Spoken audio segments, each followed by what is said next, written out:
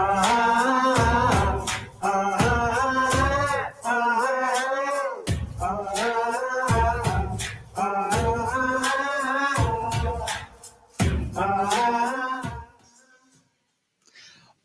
makers, ¿cómo están? Un gusto tenerlos en esta, la última conferencia de nuestro ciclo de conferencias del BIT, Business of Entertainment Administration Talks. Si alguno se estaba preguntando qué significaba BIT, ahí está la respuesta.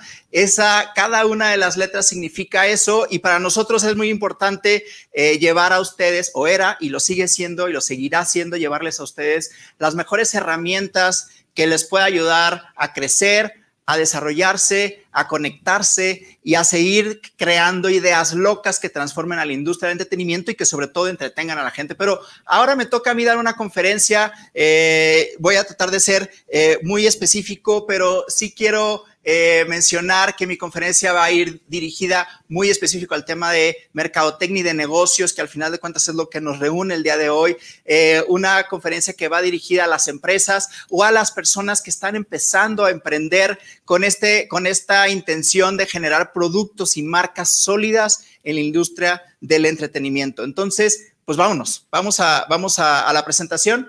Eh, la conferencia la denominé Entretenimiento Omnicanal futuro de la industria. Y aunque en muchas de las empresas eh, ya lo están aplicando, sin embargo, creo que a veces no hemos terminado de entender exactamente cuál es el objetivo de que el entretenimiento sea omnicanal y que, y que llegue a todas las personas de todas las maneras. Ahorita les vamos a explicar un poquito más, les voy a explicar un poco más sobre lo que esto significa.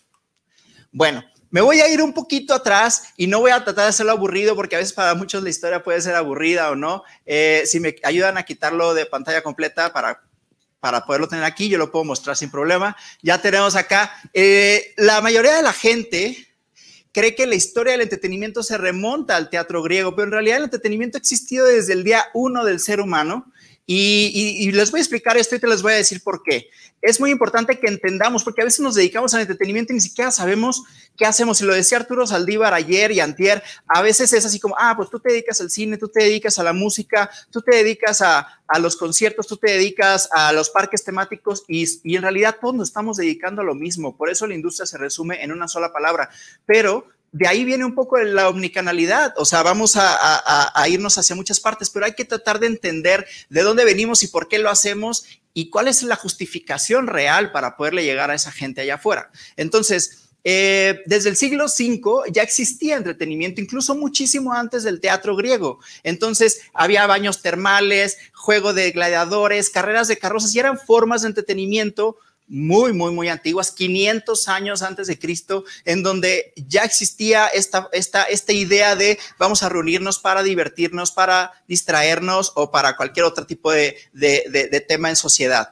Pero luego eh, 400 años después, en el siglo I antes de Cristo, llega el teatro griego y entonces se transforma ya en algo, en una especialización de cómo se tiene que generar entretenimiento para poderlo llevar en un escenario con un público del otro lado, con ya ciertas características muy particulares. Y bueno, avanza a través de la historia con la Edad Media, con los juglares y la danza, que si se dan cuenta desde, incluso desde los, de los gladiadores, mucho del entretenimiento fue eh, dirigido directamente desde eh, de la clase alta, ¿no? Eh, estaba un poquito específico para ellos y eh, la demás gente, la clase media, la clase baja, lo veía como de, de, por, por añadidura, vaya.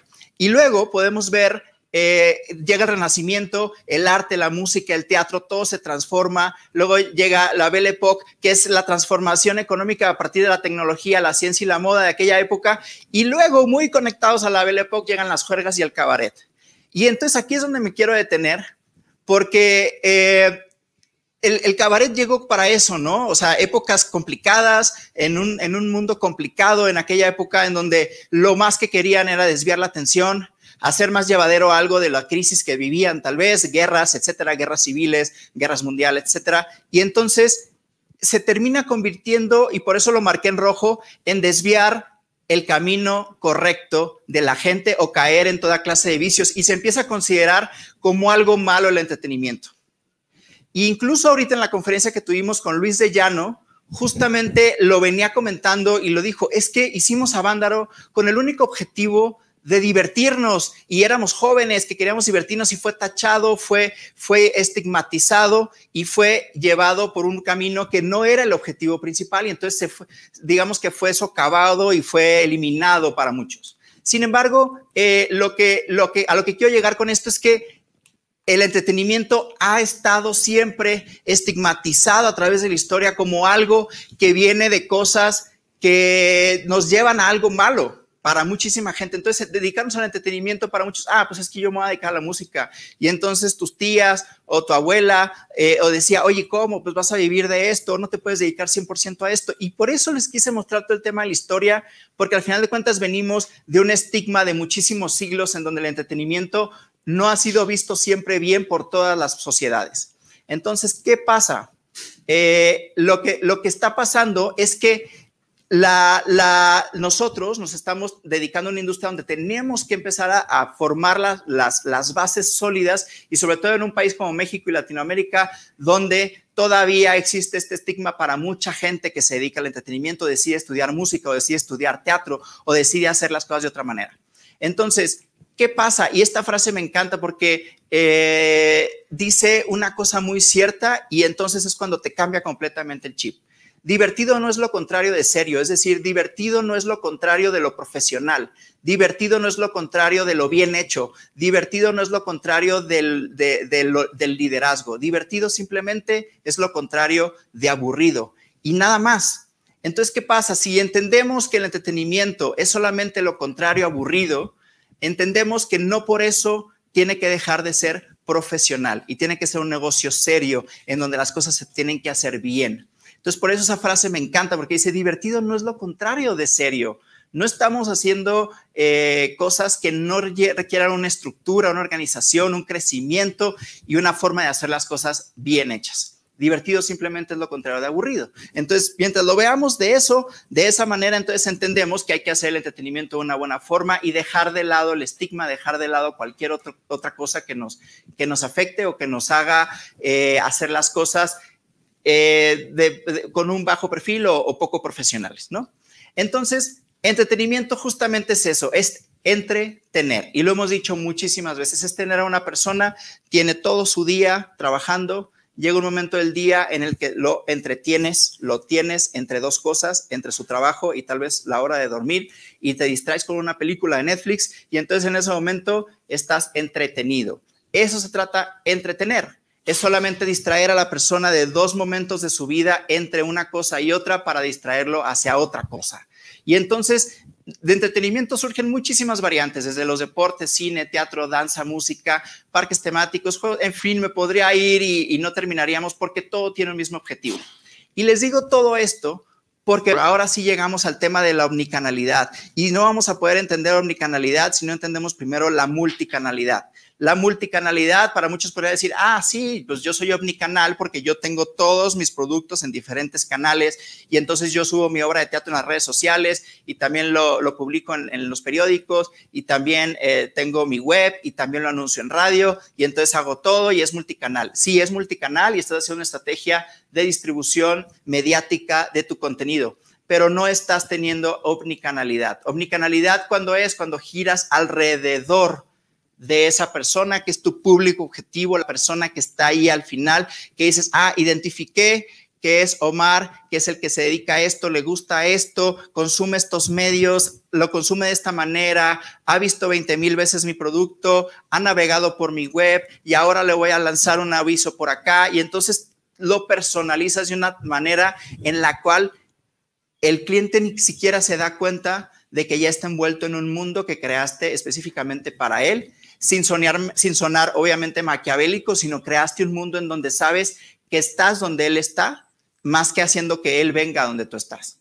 Entonces, eh, conviertes las cosas de otra manera y lo haces completamente al revés, ¿no? Esto tiene toda la lógica, es decir, hoy en día el entretenimiento no puede ser multicanal o puede serlo, pero no tendrías el mismo impacto que si eres un entretenimiento omnicanal, es decir, centrado completamente en el cliente, centrado completamente en eh, ser ininterrumpido, personalizado y contextualizado a lo que tu cliente consume 100%. Eso es lo más importante. Todos los canales tienen que estar conectados para que el cliente simplemente almacene la información eh, de forma que si este, comienza a comprar, eh, eh, por ejemplo, entra a la página web y luego no, terminó la compra, se va a su celular y entonces en su celular puede continuar con la compra. Sabemos que al final en el entretenimiento dependemos de muchísimos factores para podernos... Eh, para poder enganchar al público o para poder tenerlo siempre. Necesitamos de proveedores, necesitamos de diferentes cosas. Y voy a mostrar algunos ejemplos para que quede un poquito más claro a qué me refiero con entretenimiento omnicanal. Eh, Voy a poner tres ejemplos muy específicos que no todos son de entretenimiento, solo el primero que es Netflix, pero a todos les pasa que entras a Netflix y los que tienen Netflix en su casa te muestra los programas de interés para ti, te dice, dejaste de ver esta película, aquí está para que la termines de ver, vas en el capítulo 5 de tal serie, no te olvides, eh, eh, sé que te gusta este tipo de, de contenido, aquí está, acabamos de sacar este estreno, estas son las tendencias eh, sigue la película en tu celular, si no la puedes terminar de ver en tu pantalla y, estás todo el tiempo conectado con ellos y los acompañas a todos lados. Luego Best Buy, por ejemplo, Best Buy es una empresa que a mí en particular me gustaba mucho cuando estaba en México, desgraciadamente por la pandemia desapareció en nuestro país, pero es una empresa que era impresionante porque yo a veces navegaba por Best Buy queriendo comprar algún producto y de repente me llegaba la newsletter a mi, a mi correo electrónico y venían los productos que yo había navegado sobre ellos y que ellos se dieron cuenta que yo tenía interés sobre ellos. Ni siquiera era, y cualquiera podía decir, ah, eso es muy fácil, conectas y entonces te das cuenta y lo ligas, pero al final de cuentas hay una infraestructura de personalización muy específica detrás de unas empresas como esas, ¿no? Y al final también tienen un soporte técnico personalizado, si algo te falla vas directamente, te lo cambian, etcétera. Y bueno, el, el, el máster de masters que es Amazon, que tiene esa personalización también de que si no lo terminaste de comprar en la web, lo puedes terminar de comprar en línea y al mismo tiempo eh, vas a, puedes pedir todo en un clic, volver a pedir el mismo producto en un clic, eh, cambiar las direcciones, hacer, tener recomendaciones, en fin, es todo un sistema que está pensado para que tú sola, tú no tengas que complicarte la existencia y no batalles. Entonces me van a decir, Omar, ¿a dónde va todo esto? Ya me perdí, yo perdón, yo no soy mercadólogo, no entiendo, pero no te preocupes, te lo voy a explicar de una manera más sencilla con el siguiente ejemplo. My Disney Experience es un ejemplo clásico, gran ejemplo de omnicanalidad.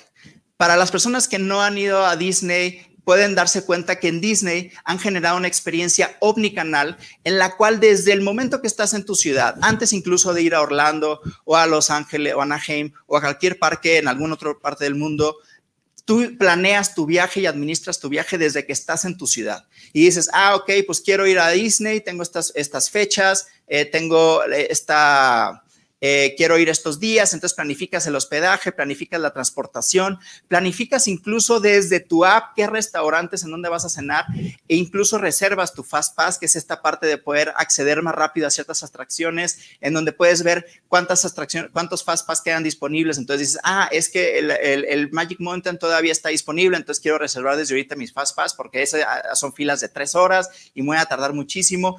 Entonces, puedes planear todo, incluso puedes planear a qué hora quieres tomarte la foto con Cenicienta y a qué hora tu hijo se va a tomar la foto con Pinocho y en fin, o sea, es tienes todo conectado en el mismo lugar y además tienes una Magic Band como la que ven ahí en la imagen que simplemente te da acceso a todo. Tienes eh, acceso al parque con la Magic Band, acceso al hotel con la Magic Band, acceso a los restaurantes con la Magic Band, acceso a todos lados con tu Magic Band. No tienes que hacer absolutamente nada. Y además tienes una aplicación en donde tú puedes eh, ver en tiempo real en el parque temático, puedes ver todo, o sea, desde eh, cuántas horas de fila hay en cada, en cada, en cada atracción, eh, cuáles están más llenas, cuáles están menos llenas, cuáles están disponibles, a qué hora puedo reservar un desayuno, una comida, una cena, a qué hora es el espectáculo en vivo de luces.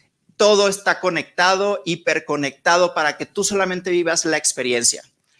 Y entonces, cuando tú la vives, simplemente dices, wow, esto es maravilloso porque ya no tengo que hacer nada. Todo depende de un solo dispositivo como una, un Magic Band o un celular que tengo a la mano. imagínate ahora Disney Plus ya existe, ya existe esta nueva plataforma y que estés conectado al mismo tiempo con que llegues al hotel y qué película quieres ver y a mí mismo selecciones qué película quieres ver y que el mismo perfil que has creado en Disney esté conectado directamente a lo que tú quieres vivir en base a tus gustos específicos, a cuántos familiares son, si tienes hijos pequeños, si son jóvenes, si eres un adulto mayor pero te encanta Disney, en fin, está tan personalizado que te ofrecen las mismas características que se adecúan a tu perfil y a tu target.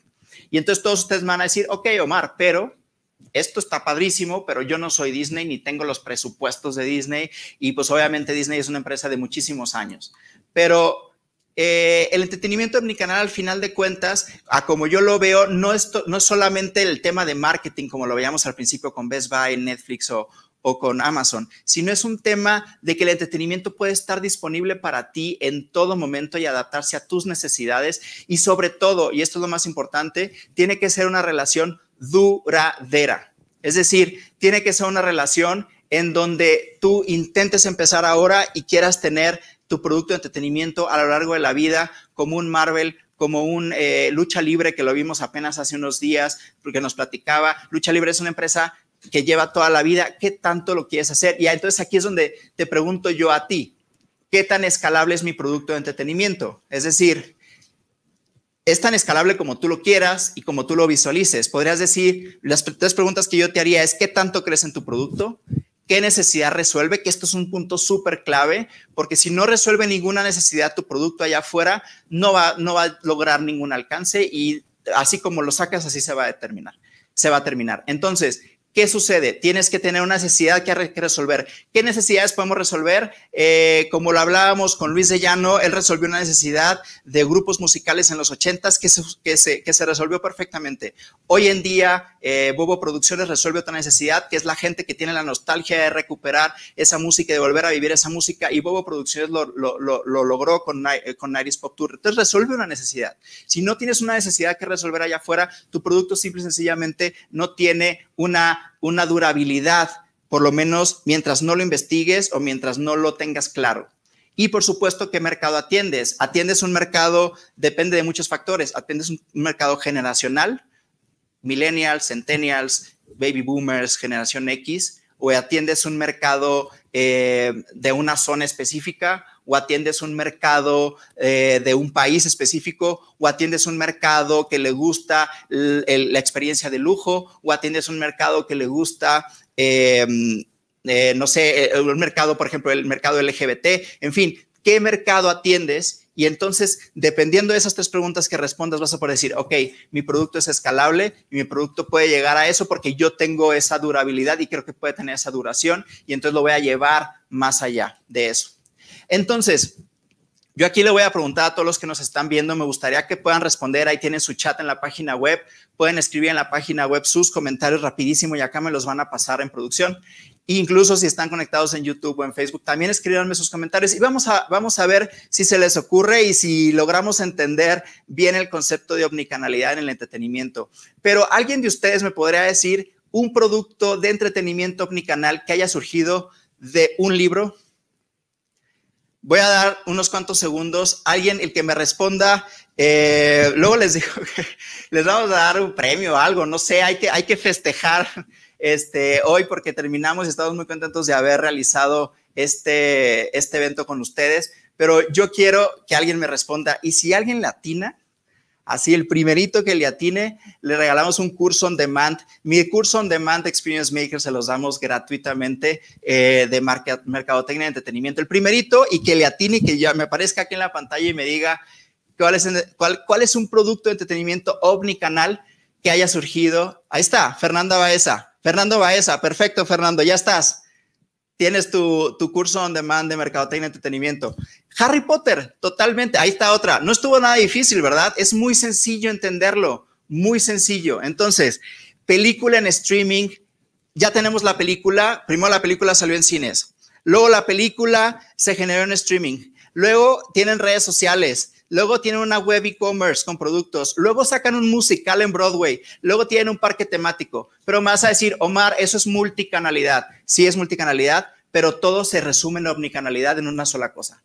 En Wizarding World website. Tú puedes entrar a la página de Harry Potter, a esa que te acabo de mencionar, Este, y entonces, Jafet no vale, ¿eh? Jafet produce, Jafet es nuestro Incident Studio, pero gracias, Jafet, por tu respuesta. Este, pero tenemos película de streaming Wizarding World website, en donde tienes todo, todo, todo, todo, todo en un solo lugar. Y entonces, al mismo tiempo que estás viendo una película de Harry Potter en streaming, al mismo tiempo estás compartiendo cosas en redes sociales, al mismo tiempo estás comprando tu varita mágica y al mismo tiempo estás reservando tickets para ir al musical de Broadway y al mismo tiempo llegas al parque temático con la misma varita mágica, vas tocando cosas dentro del parque y empiezas a hacer toda una experiencia 360 para el usuario y entonces conectas completamente con la audiencia todo el tiempo y se vuelve, el usuario se vuelve parte. Además, entras a la página web y puedes decir, ah, soy tal persona, bla, bla, y te dicen a qué casa perteneces, si eres Gryffindor o si eres cualquier otra de las casas.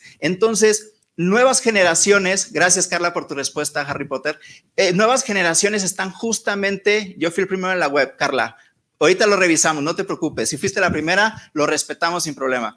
Y entonces, eh, tienes los superiores nacieron de cómics también.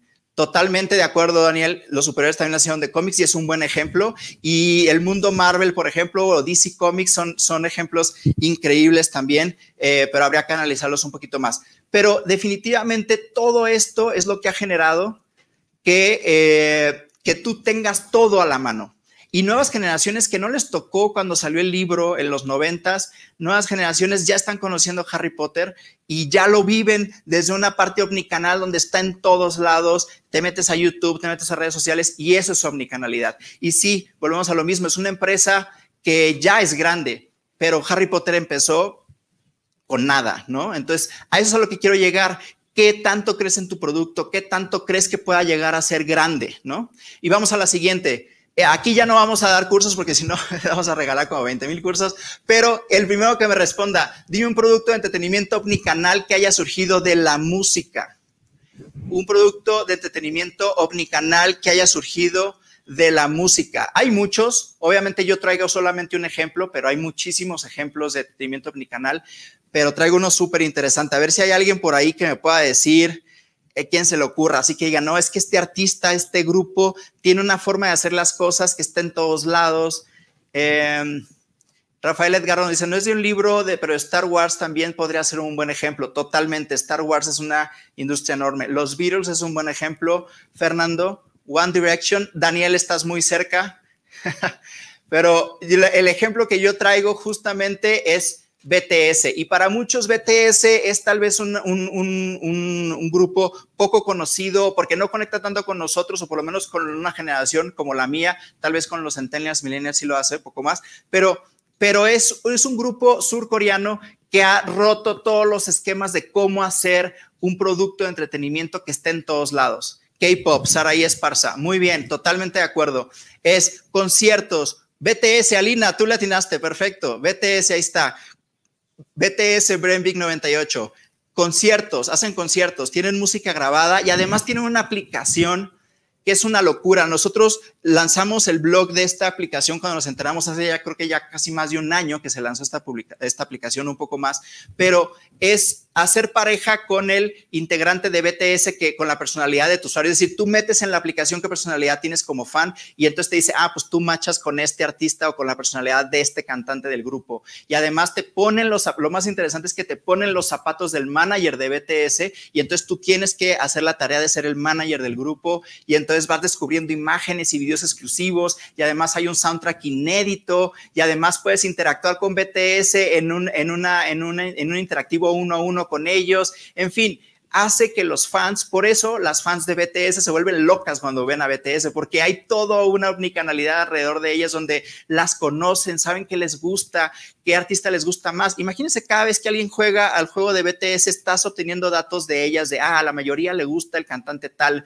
desconozco los nombres de los cantantes, pero tal vez le gusta más tal cantante, tal vez le gusta más tal cosa. Eh, y acá Carla Macouset, que seguramente es fan, dice, su nueva canción Butter es una joya. Y sí, BTS tiene una industria atrás profesional que no está pensada como lo que empecé contándoles al principio de no, es que lo ven como algo malo el entretenimiento. No, señores, somos personas profesionales que nos dedicamos a una industria muy bonita y que además tenemos que pensar todo que se puede hacer bien hecho. Por eso, en eh, eh, países como Estados Unidos, que empezaron teniendo carreras de entretenimiento hace décadas, en México apenas estamos viendo esas carreras de entretenimiento hace 10 años. Entonces, ¿Qué está pasando? ¿Por qué no estamos volteando a ver a una de las industrias más importantes? Y lo hemos visto durante todo BIT. Son industrias que en México genera millones de dólares y además es la tercera más importante a nivel mundial en tema de venta de boletos. Es decir, somos una industria que debemos de ser profesionales en lo que hacemos y podemos hacerlo muy bien. Entonces hay que darle esa seriedad a lo que hacemos. Y la otra es, a ver quién me responde esta, un producto de entretenimiento omnicanal que haya surgido de una obra de teatro. Diego Becerra dice Iron Maiden con su juego de celulares. Ok, eso no lo conocía, Diego. Gracias por la aportación. ¿Quién me, quién me, quién me menciona una obra de teatro que haya surgido y que se convirtió en un entretenimiento omnicanal y ahora es una cosa que está en todos lados? A ver, a ver, ¿quién me comenta? Ahí producción de estar rapidísimo tratando de subir comentarios. Pues creo que a nadie se le ocurre esta, esta a estar buena entonces. Vamos a ver. Vamos a ver. no, no, no me voy a extender tanto porque si no me voy a pasar del tiempo, pero a ver si hay alguien por ahí que se le ocurra algo.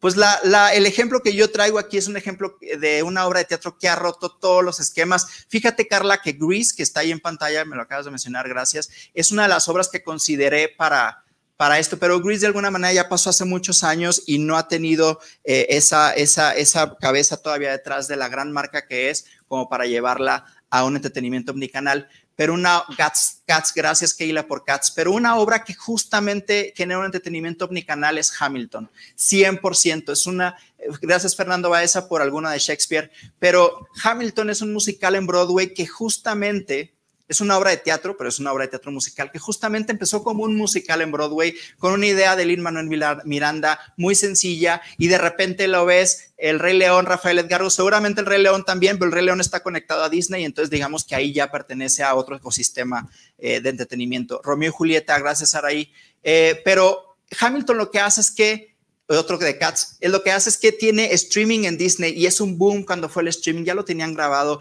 y además en redes sociales Hamilton es un boom también y además ya están por hacer la película y en la misma página de Hamilton puedes eh, ver temas de la película, puedes reservar tus boletos, puedes ver noticias y además tienen una app donde puedes reservar la lottery. Para quien no sabe qué es la lottery en Nueva York, es cuando vas y llegas unas horas antes al evento este, o, al, o al teatro y entonces juegas una lotería en donde si te la ganas, te dan acceso prioritario a un muchísimo menor costo. Entonces tienes la, opción de hacerlo a través de la app, tienes un karaoke para cantar las canciones de Hamilton, tienes contenido exclusivo, tienes la Hamcam, que es que te conectan tu imagen a un, a una, a un arte de Hamilton, tienen merch, tienen stickers. Y además algo muy curioso, tienen un education program, tienen un programa de educación para los niños de 6 a 12 años. Y esto es muy interesante porque se dieron cuenta, identificaron que hay un público muy particular que quiere aprender de la historia de Estados Unidos, que es gente de 6 a 12 años y entonces les puedes dar un, programa de educación con Hamilton, que es una forma muy divertida de aprender la historia de Estados Unidos. Entonces, este es un ejemplo completo de cómo una cosa que tal vez ni siquiera Luis Manuel Miranda tenía en su cabeza pensado de hacer tanto con Hamilton, porque como para, para cualquier creador cuando creas algo no sabes siquiera si va a gustar o no, pero para él seguramente ha sido toda una, una, satisfacción poder ver cómo ha crecido una marca como Hamilton tan grande y ha llegado a ser omnicanal en todos los aspectos. Va una más. Diego Vilaf me dice, es un increíble musical, no sabía que tenía todo eso, lo descubrí en pandemia en Disney Plus. Exacto, Diego, lo descubriste por otro medio que no es su medio original, su canal original fue el teatro y tú lo descubriste en una plataforma de streaming.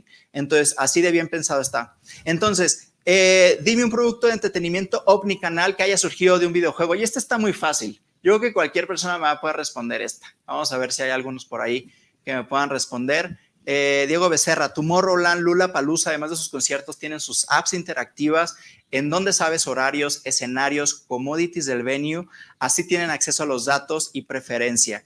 Completamente de acuerdo contigo, Diego. Y aparte, eh, Tomorrowland acaba de lanzar su evento eh, virtual el año pasado y fue todo un éxito. Fortnite es un buen ejemplo y lo consideré Brenvic 98, Fortnite lo consideré, sin embargo me quise ir al clásico de clásicos. Vamos a ver si hay alguien por ahí que me lo diga, pero es muy sencillo.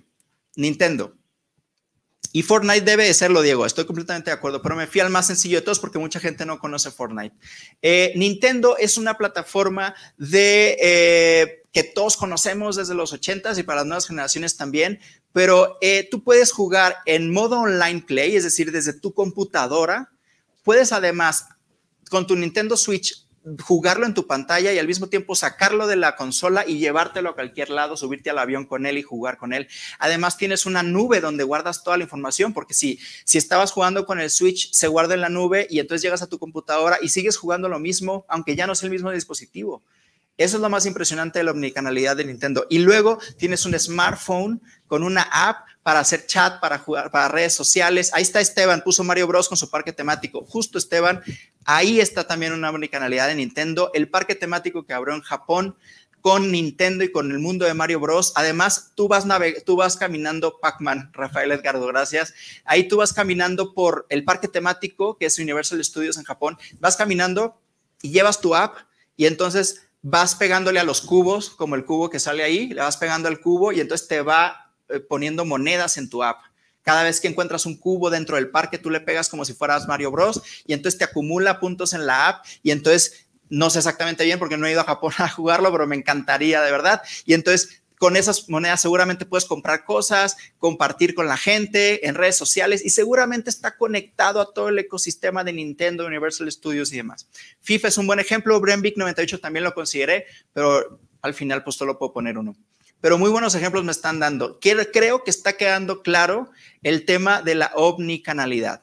Entonces, no, creo que tengo uno más. Sí, uno de deporte para aquellos deportistas que están por ahí. Dime un producto de entretenimiento omnicanal que haya surgido de un deporte y hay muchísimos, pero puse dos. Aquí quise poner dos específicos porque son dos deportes distintos, pero hay, hay marcas deportivas que han sabido llevar ese producto de entretenimiento que crearon a todos lados para generar una marca súper bien posicionada y aunque no ganen el campeonato, logran estar en todos lados. Fórmula 1 dice Brenvic 98, gracias. Brenvik, ¿quién más? Pues bueno, yo puse FC Barcelona y Dallas Cowboys. Son dos cosas distintas. Uno es fútbol y el otro es NFL, es fútbol americano. Pero son, son grupos, eh, son equipos, son marcas de entretenimiento que han sabido llegar al entretenimiento. Ahí está Diego Vilaf, NFL, es correcto. Que han sabido llevar todo, todo, todo lo que hacen directamente para, para todos lados, ¿no? Y tienen sus apps en donde puedes comprar tickets, puedes planear tus paquetes de viajes para ir a los partidos, ves los calendarios de los partidos, descargas la app, aparte tienen una TV on demand para ver productos, Aparte tienes noticias y además, por ejemplo, una cosa muy curiosa con Cowboys, Dallas Cowboys, es que tienen además una página de cheerleaders donde pueden hacer las audiciones las chavas, pueden tomar clases de cómo ser cheerleaders. Es decir, hay todo un ecosistema alrededor de una marca que para muchos pudieran decir, oye, yo solo me dedico a hacer fútbol americano, ¿qué me interesa enseñarles a las cheerleaders cómo tienen que hacer su danza o su, rutina? Pero no, estás pensando completamente en todo tu target, en toda la gente que está ahí. José Luis, Barcelona, exactamente, lo atinaste perfecto. Entonces, es justo eso, es dónde está y a qué tan lejos queremos llegar. Esteban, FIFA, correcto. ¿A dónde queremos llegar? Con eso. Carla FIFA, gracias Carla. Entonces, si pensamos Halo, Jania Paulette, gracias. No estoy tan enterado de Halo, sé que es un videojuego de Xbox, pero no estoy enterado de su entretenimiento canal. Seguramente tienen cosas muy interesantes Xbox también. Eh, pero eh, a eso voy. Es simplemente buscar todas las cosas que, que podamos llevarle a la gente para no perderlos y entonces que se vuelvan clientes fieles con, con nuestras marcas, con nuestros productos de entretenimiento. Yo lo único que les quiero invitar ahora es y decirles es, cuando van a crear, si van a crear un producto de entretenimiento, piénsenlo en grande, piensen que va a ser una marca bien posicionada, piensen que va a ser algo que va a llegar a todos lados y que quieres estar en todos lados y que respiren, consumen y vivan tu entretenimiento todo el tiempo, porque al final de cuentas, cuando alguien se casa con una marca como las fans de BTS o como los fans de Barcelona del fútbol, entonces es cuando cuando tu marca crece y hemos dado cuenta eh, hay muchos estudios donde dicen que tan solo el valor de la marca es el 30% del activo de la marca. Es decir, si tu, si tu empresa vale millones de dólares, el 30% es solo tu valor de marca. Entonces, si creamos marca, si creamos esa parte en donde la gente está conectada con tu marca todo el tiempo, en ese momento estamos creando un gran producto de entretenimiento y volvemos a la historia. Estamos dándole a la gente muestras de que hacemos las cosas bien. Diego Becerra dice, el mundo del fútbol en Pachuca Hidalgo es un parque temático donde tú eres un jugador que recluta para llevarlo al estrellato. No lo sabía, Diego, sí había escuchado del mundo fútbol de Pachuca, pero no, nunca he tenido la oportunidad de verlo. Gracias por, por, compartir. Eh, a un lado está el Museo de la Fama Mundial del Fútbol. Gracias, Diego. Eh, bueno, y uno último, uno último antes de irnos, porque creo que ya me pasé, no sé cuánto tiempo tengo. Todavía tengo algunos minutitos. Dime un producto de entretenimiento omnicanal que haya surgido de un dibujo. Esto está muy complicado, yo sé que está difícil, pero algo que haya surgido, casi, casi, casi le, pico mal. Este, eh, ah, perdón, hay producción, se está viendo mal. Y entonces vamos a alguien que me diga, ¿qué entretenimiento omnicanal eh, que haya surgido de un dibujo? Ahorita en lo que podemos ver la pantalla otra vez, no pasa nada. Alguien que se le ocurra algo, entretenimiento omnicanal que haya surgido de un dibujo, Destroyer. Y quise poner esta porque es una marca mexicana, Disney. Sí, surgió un dibujo, tienes toda la razón. Mickey Mouse, tienes toda la razón. Pero ¿saben qué? Quise poner una marca mexicana porque vimos puras marcas extranjeras. Y Destroyer es una empresa 100% mexicana que nació de un dibujito de Virgencita, please cuídame, una cosa así, y se volvió en toda una industria alrededor de un solo dibujo que luego se generó alrededor de muchísimas otras cosas más. Es un producto con diseños especiales, ahora venden juegos y muñecas para niños, que es una locura cuando pasa en, en Navidad, todo el mundo quiere los juegos de Destroyer, luego tienen contenido en redes sociales, luego tienen una app de retos entre amigos y además tienen una obra de teatro musical que estuvo en la Ciudad de México un tiempo, eh, duró solo unos cuantos meses, pero al final de cuentas se creó todo un ecosistema alrededor de Destroyer en donde, eh, pues para muchos niños y para muchas niñas han crecido con esa marca que es mexicana. Tenemos a Rafael Edgardo que también dice Los Simpsons, 100% de acuerdo, Rafael, Los Simpsons es una, es una empresa que surgió de caricaturas también y que ha generado muchísimas cosas alrededor. Son los que hacen, Diego Vilaf, son los que hacen las roscas de Reyes para Walmart. No, no lo sé. No sé, Diego, nunca he visto la rosca de Reyes de Destroyer, pero hasta probablemente puede que sí. O sea, te digo, están en todos lados. Entonces, a lo que voy es, eh, Así es, Esteban. Ahora Destroyer tiene los Casimeritos, que son un juguete y tuvo obra de teatro. Así es. Ellos están en todos lados y es una marca mexicana. Lo que voy es, y el ejemplo que les quiero mostrar es, no tenemos que ser una empresa extranjera con los millones de dólares. Podemos crecer poco a poco con un producto tan sencillo y si sabemos entender a nuestros clientes, a nuestro público, vamos a ir creciéndolo, creciéndolo, creciéndolo hasta convertirnos en lo que ahora, por ejemplo, Destroyer es a nivel incluso internacional. Tienen toda la experiencia de llevar a los muñecos al doctor en Liverpool. Eso está increíble, Brenvik, que es lo que vi también cuando estuve investigando un poco más. Eh, puedes llevar a tu juguete al doctor en Liverpool y entonces los niños viven la experiencia de un juego que tal vez para muchos es, ah, te regalo la muñeca, juega con ella en tu casa. No, ahora me regalas la muñeca, pues la tengo que llevar al doctor. ¿Y dónde está el doctor? Ah, pues en, algunos centros comerciales, ahí está el doctor. Llegas y entonces se vuelve una experiencia para los niños. Es completamente... Eh, omnicanal porque está presente para ellos, tienen la app donde pueden ver todos, pueden meterse a la página de internet, pueden ver las redes sociales, en fin, algunos niños no podrán entrar a redes sociales, pero hay redes sociales. Entonces, eso es a lo que voy y creo que quedó clarísimo. Y quiero poner y aterrizar un poco también a empresas mexicanas. Tuvimos a, Lucha Libre en unas conferencias hace unos días. Ayer creo que fue, sí, justo ayer tuvimos al director de Mercadotecnia de Lucha Libre AAA. Y Lucha Libre AAA ha generado tantas alianzas a nivel a nivel eh, nacional e internacional que está muy cerca de poderse convertir en un entretenimiento omnicanal. Y digo muy cerca porque hay algunas cosas que, que todavía seguramente ya están trabajando en ellas para lograr convertirlo en lo, que, en lo que seguramente se va a convertir porque aparte tiene una presencia internacional impresionante y son productos mexicanos. Grupo Eco, tuvimos a Joshua justamente con una participación de administración de Grupo e-, Eco y nos dijo que que, que, lo que están trabajando, pero creo que Grupo Eco también sin problema se podrá convertir en una experiencia omnicanal porque ellos justamente están haciendo muchísimas, muchísimas cosas de entretenimiento. Además, eh, la, compañía tiene otro tipo de, experiencias como gastronómicas, etcétera. Entonces, creo que podrían hacerlo muy bien si logran conectar todos sus productos en una sola. Eh, Ocesa, por supuesto, también es una empresa que se pudiera conectar todo su entretenimiento en una sola aplicación, en un solo sistema, sería increíble para toda la gente que lo vive. Eh, Ventura, Ventura Entertainment es una empresa de parques temáticos, eh, tiene también delfinarios, etcétera. Es una empresa que me tocó conocer hace algunos años y siento que también es una empresa que bien se podría convertir en una empresa omnicanal de muchísimas marcas, eh, personajes, etcétera. Es solamente cuestión de buscarle y encontrarle. Y quise poner estos ejemplos solamente por dar ejemplos, pero hay muchísimas otras empresas en México que seguramente pudieran hacerlo y pudieran estar ahí, ¿no? Eh, veo algunas preguntas acá. Diego Becerra, ¿está conceptualizado en las obras pictóricas de Van Gogh con toda la tecnología actual en video? Sí, eh, Van Gogh Experience, sí lo he escuchado, Diego, y la verdad es que creo, e, eso más que un entretenimiento omnicanal, Van Gogh Experience se convierte en una experiencia inmersiva.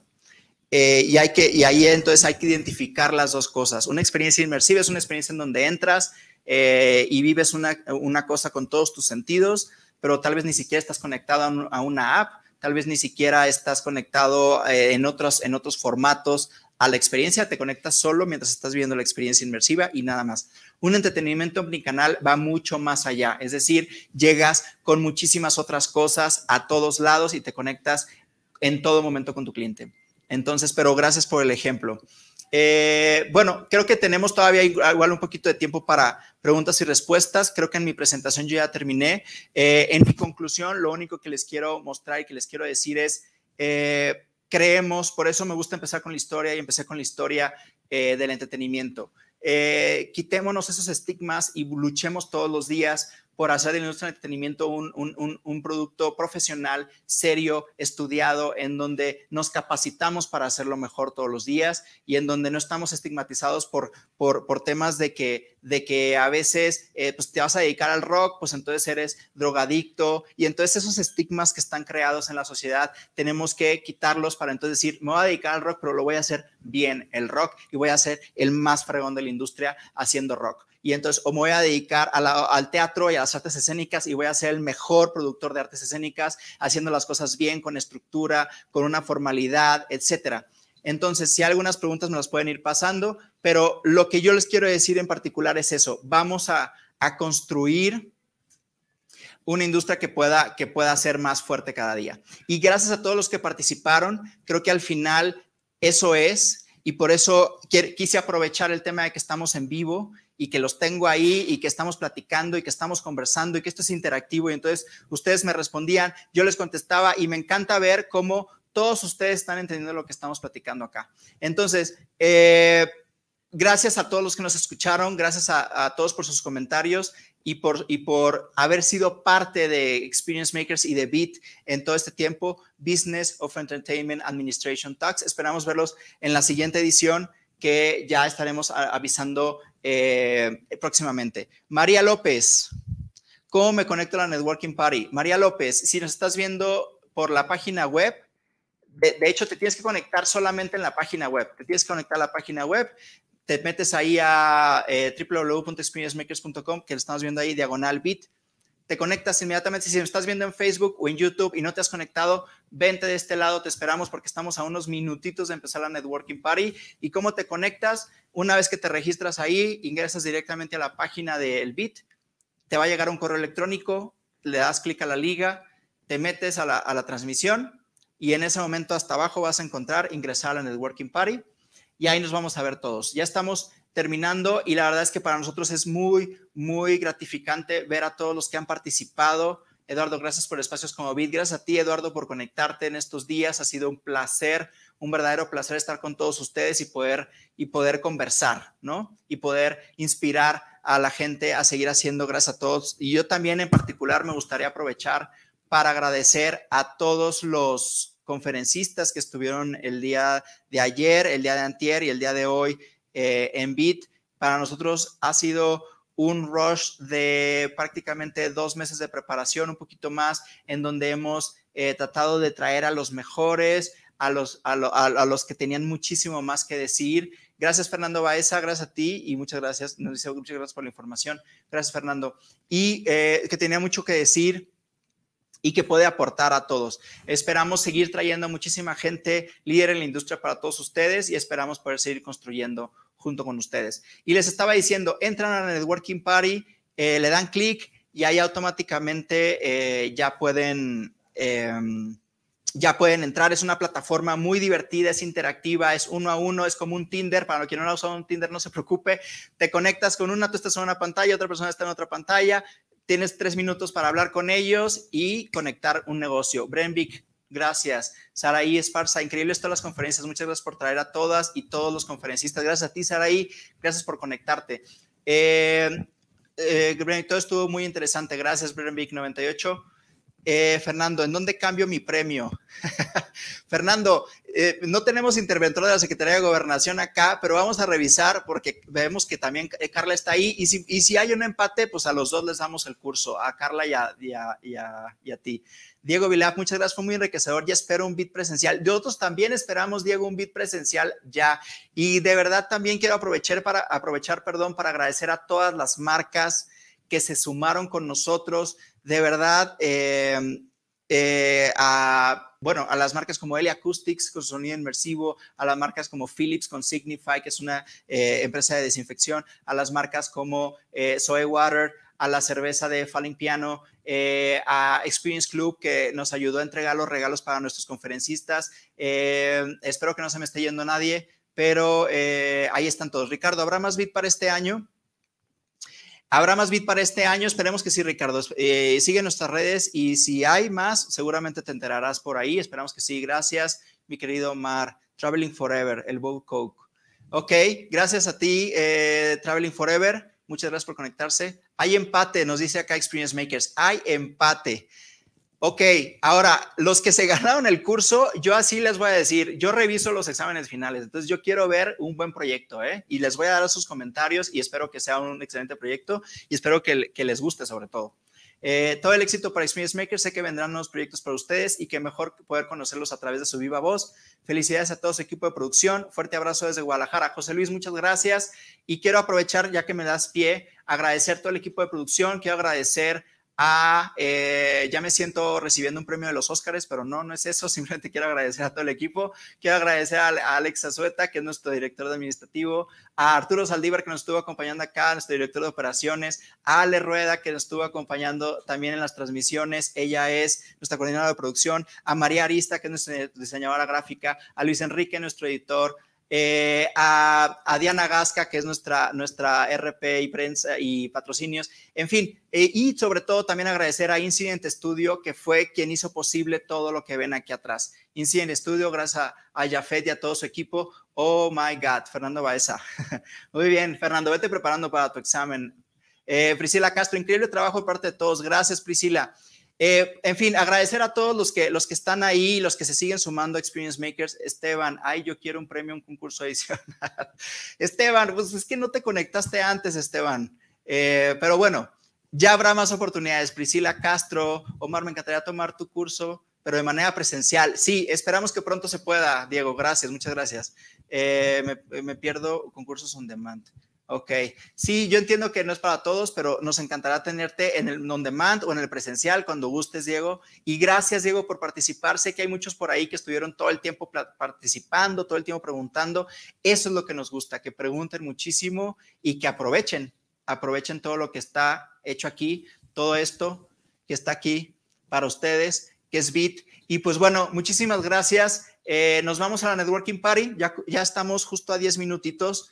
Eh, gracias a todos y sobre todo gracias a ustedes, a todos los que se conectaron, de verdad a todas las empresas, las marcas, estudiantes, eh, toda la gente interesada en la industria. Eh, muchísimas gracias. Esteban, ¿tienen el calendario de próximos cursos? Esteban, me voy a aventar un gol aprovechando que me estás preguntando, pero sí, tenemos el bootcamp de producción el, próximo fin de semana, viernes y sábado, aquí en la Ciudad de México, ya presencial, con todos los temas de seguridad eh, y sanidad, lo vamos a hacer. Ya te quedan pocos lugares presenciales, es importante que lo diga, ya quedan muy pocos lugares, así que si están, hoy finaliza la preventa del 15%, aprovechen. Y luego en junio tenemos un bootcamp, bueno, un summit de relaciones públicas para todos aquellos que se dedican a las relaciones públicas, eh, de eventos, de marcas, de empresas. Vamos a tener un, un summit de relaciones públicas presencial también híbrido, virtual para quien lo guste tomar virtual. Y más adelante estamos planeando también un bootcamp de creación de contenidos para finales de junio que esperamos que todos se sumen. Yo también quiero curso, Diego. Diego Becerra, gracias, Diego. Pues bueno, excelente tu ponencia. Gracias, Jania, por tus comentarios. Muchísimas gracias a todos. Eh, sigan nuestras redes sociales, sigan nuestra página web, tenemos mucho material. Estamos trabajando todos los días muy duro para darles más material, más aprendizaje. El objetivo de Experience Makers es acercar la educación y el entretenimiento a todas las personas, que sea accesible para todos. Entonces, eso es lo que queremos. Aprovechen todos los cursos. La verdad es que los cursos se pagan solo siempre porque el networking y además la oportunidad de vivir estos eventos. Muchísimas gracias a todos. Nos vemos en un ratito más. Eh, gracias a los que se conectaron, gracias a las marcas, gracias a todo el equipo, gracias a todos.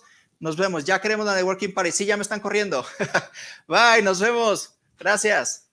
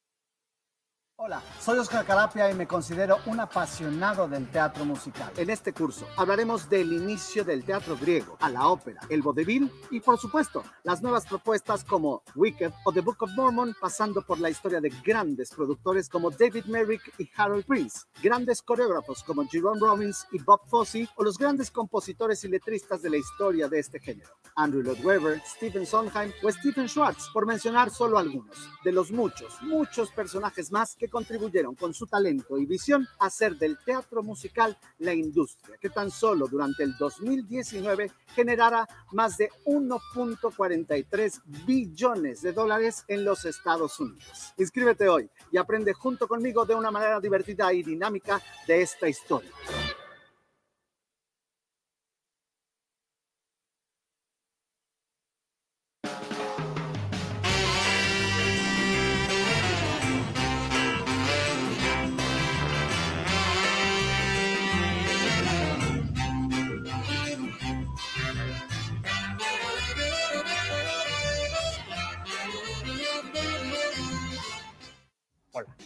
Oliver Menezes. He ganado concursos de cartel, he sido jurado internacional y he creado campañas o adaptado carteles para más de 500 películas, series, obras de teatro, shows en streaming y televisión. Que sonan pelis como Juegos del Hambre, Casi se quien pueda, Güeros, Caballeros del Zodíaco, Treintona Soltera Fantástica. En este curso aprenderás a crear una campaña gráfica para una película. Desde las bases en conocer la historia del cartel hasta las técnicas más avanzadas de Photoshop para lograr que tus imágenes destaquen entre miles otros. Nos sentaremos en la máquina y haremos un par de pósters con todos los trucos necesarios. No esperes más y entra a este curso de diseño de pósters para cine y empieza a profesionalizarte para generar tu propio estilo y crecer tu trabajo a nivel de una marca profesional.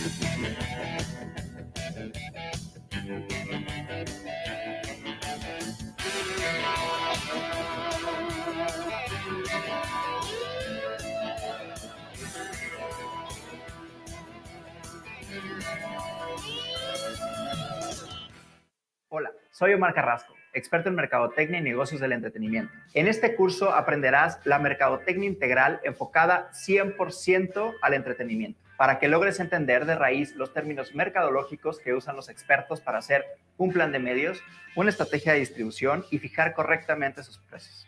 En pocas palabras, para que tú mismo crees y comercialices un producto de entretenimiento que pueda ser exitoso. El objetivo es que comprendas el idioma para poder supervisar un proyecto como inversionista, director, productor o creativo. Así que no lo pienses más y comienza a profesionalizar tu proyecto hoy mismo.